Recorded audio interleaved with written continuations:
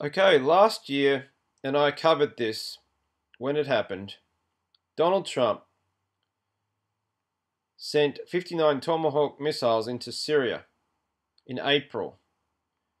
And then he sent used the mother of all bombs on Afghanistan, which has never been used in live combat before.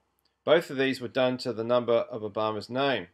One was the 6th of April, which was the two month, 16th day of Trump's presidency from Inauguration Day, which was the Tomahawk missiles into Syria. First uh, military airstrike by the United States from a aircraft carrier uh, ship out at sea. And then the um, mother of all bombs never been used on day 84, which was the 14th of April, uh, 2017 on Afghanistan. Now that combined with the information I've just reposted again with the dates for the International um, Movie Database, the counting system that I use with the movie The Purge that I just reposted that information there and you see the last release date was day 84 of Trump's presidency, the same day that he sent the mother of all bombs to Afghanistan and deployed it. Okay, so those two dates were correct. Now, I hadn't talked about it, but I had it marked on my calendar. Just trust me when I say that. I'm not lying, like other people openly lie to tell you rapture dates that come and pass and then they never apologize. I had that day marked on my calendar, Friday the 13th of April. Now, all that to say this Friday the 13th of April was Trump's second uh, incursion with missile with a missile strike, a major missile strike that only lasted for one hour into Syria. And that happened to be day 448. 48, right? Obama's birthday, born on the fourth day, eighth month of Trump's presidency from Inauguration Day. So the three of them go hand in hand.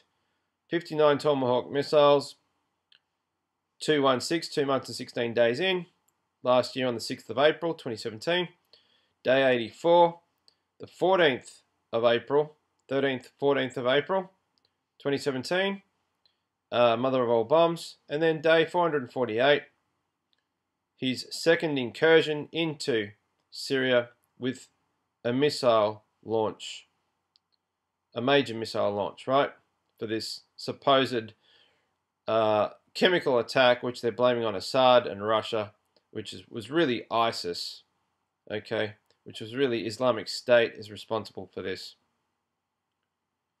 All to the number of his name, all three events. All three events. Okay. With uh, with uh, Obama's announcement on Monday that he's going to Kenya, people don't understand that everything is done to the number of his name, Obama's birth numbers, then you just willfully blind and ignorant. I provide the evidence.